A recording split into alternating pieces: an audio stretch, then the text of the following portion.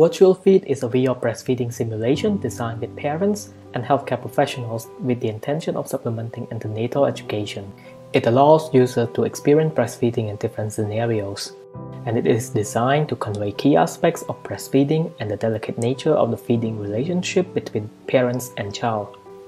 In our simulation, a tangible doll representing a newborn baby is provided, so that the user who is represented as a full body avatar in a sitting pose can interact with in the VR space. Our work leverages the motion tracking capability of VR, hand tracking technology, and an inverse kinematic algorithm to enable three essential interactions in breastfeeding caressing the baby, holding and feeding, latching and unlatching. To provide visual and audio feedback to the user, we animate the virtual baby and respond to the user's interaction with the tangible doll. We crafted two breastfeeding scenarios, each portraying different experiences of breastfeeding and the varying degrees of social and environmental factor influencing the process.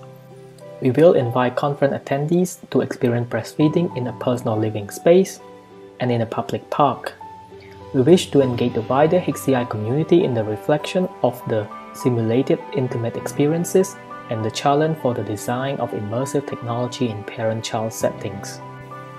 In the future, we will leverage our work as an experience prototype that serves as a conversation starter to engage relevant stakeholders, including parents, parents-to-be, and healthcare professionals in the conversation about the potential of interactive technology to support breastfeeding.